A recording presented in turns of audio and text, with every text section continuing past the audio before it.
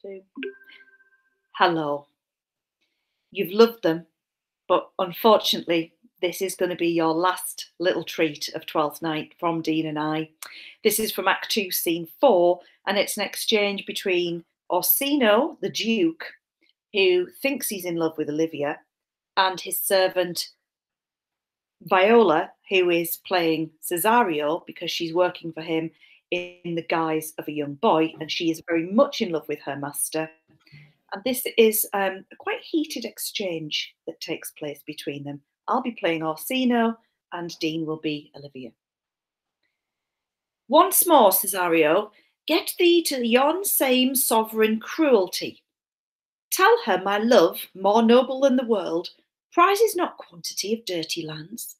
The parts that fortune hath bestowed upon her tell her I hold as giddily as a fortune. But 'tis that miracle and queen of gems that nature pranks in her attracts my soul. But if she cannot love you, sir? I cannot be so answered. Sooth, but you must. Say that some lady, as perhaps there is, have for your love as great a pang of heart as you have for Olivia. You cannot love her. You tell her so. Must she not then be answered? There is no woman's sides can bide the beating of so strong a passion as love doth give my heart. No woman's heart so big to hold so much.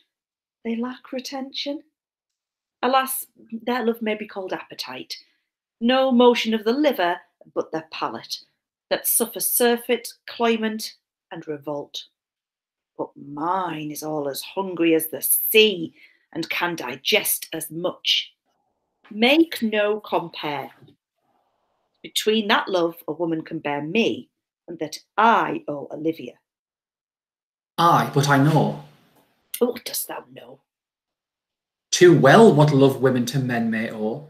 In faith, they are as true as heart as we. My father had a daughter loved a man, as it might be, perhaps were I a woman, I should, your lordship. And what's her history? A blank, my lord. She never told her love, but let concealment like a worm in the bud feed on her damask cheek. She pined in thought, with a green and yellow melancholy. She sat like patience on a monument, smiling at grief. Was not this love indeed?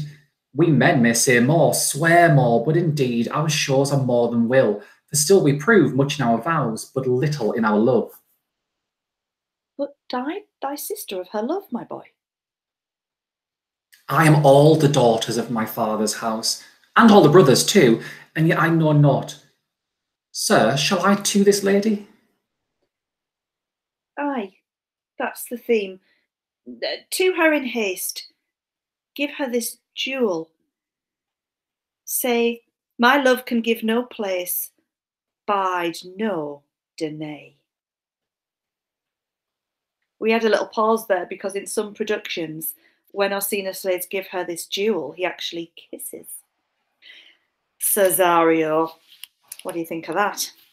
Um, right, so you've had three little scenes. If maybe that's just spurred you on to read the play. It is the first text that we start with when we get together. It's a nice little bridge because you've done Shakespeare at GCSE and then you come to us and we start with a Shakespeare.